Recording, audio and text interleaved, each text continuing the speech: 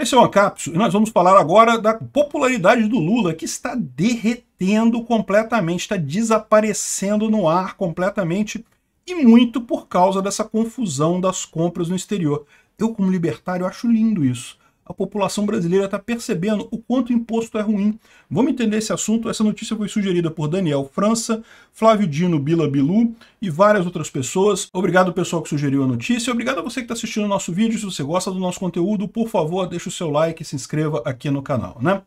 Pois bem, olha que coisa. É, a nova pesquisa mostra a popularidade do governo Lula derretendo. A aprovação caiu 4 pontos desde fevereiro, passando de 40% para 36%, o que é muita coisa, né? É, aqui, ó, e é, é, perguntado sobre alguma notícia negativa que tenham ouvido, 16% dos entrevistados é, mencionaram o plano do Haddad de taxar compras internacionais. Olha só o quanto essa porcaria de imposto doeu nas pessoas que votavam no PT, hein? E mais do que isso, você vê aqui, ó, é, eleitorado feminino perde paciência com o governo Lula. É principalmente mulher. Mulher que adora essas porcaria desses aplicativozinhos é, chinês, porque é roupa baratinha e coisa e tal, né? O pessoal gosta de comprar, gosta de experimentar coisa nova. A gente, homem, tipicamente compra três camisas e se deixar, usa as três o resto da vida, é, pelo menos enquanto cabe, né? Enquanto a barriga não cresce o suficiente. Mas é, é, mulher gosta de trocar, de variar e coisa e tal. E aí o pessoal se amarra nessa coisa, né? E mulheres são uma parte significativa do eleitorado do Molusco, né? Então, ou seja, o que, que aconteceu, né? O eleitorado o feminino apostou no Lula, foi contra Bolsonaro, que, que as comprinhas chegavam rápido, o Lula chegou e a coisa começou a ficar ruim, e não funcionou mais, e o Lula começou a taxar e começou a cobrar dinheiro, e ficou caro o Shopee, coisa e tal. E, enfim, é, parece que o governo petista foi avaliado é, é, por 30, positivamente por 38% das mulheres. Antes era 44%, então olha só, caiu na população como um todo a aprovação do Lula, mas caiu principalmente entre as mulheres, explicitamente por causa desse negócio do, do imposto da Shen, da Shopee, coisa e tal, né?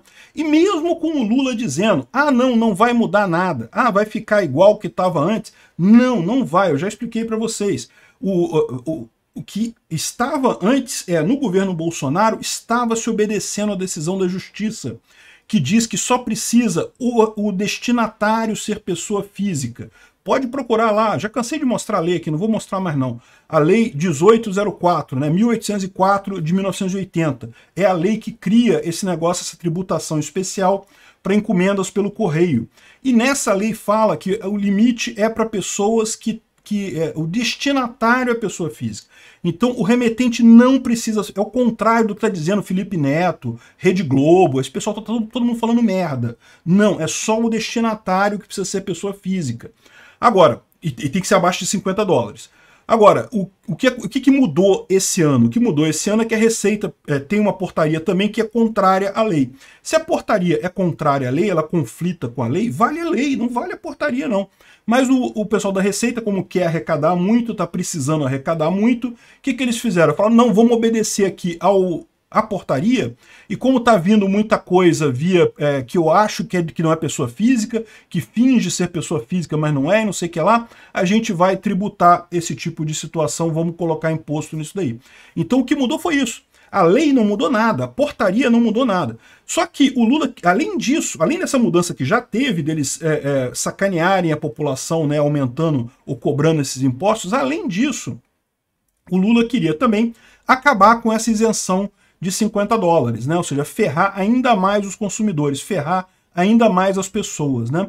E aí, é, isso ia, pior, ia, piorar a situação, porque aí não tinha mais nem desculpa de você falar que a lei, não sei o que lá, não podia nem entrar na justiça contra isso, porque acabou a isenção, aí acabou, não tem o que fazer.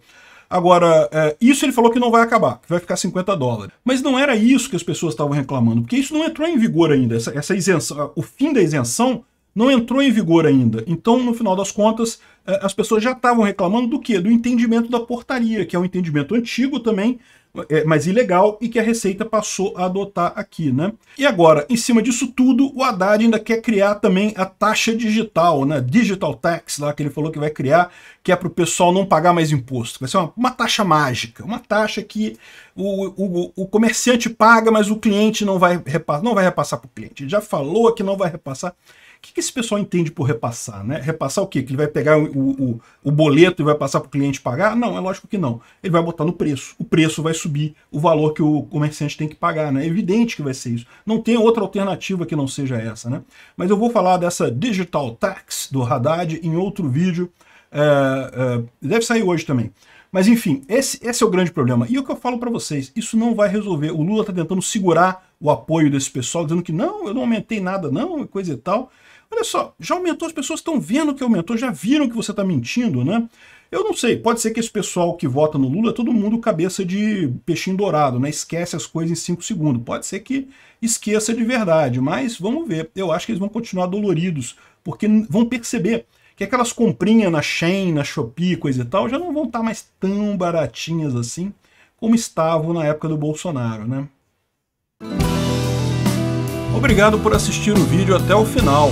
Além de curtir, compartilhar e se inscrever no canal, considere se tornar patrocinador com valores a partir de R$ 1,99 clique no botão Seja Membro abaixo para saber as condições e vantagens de patrocinar o canal.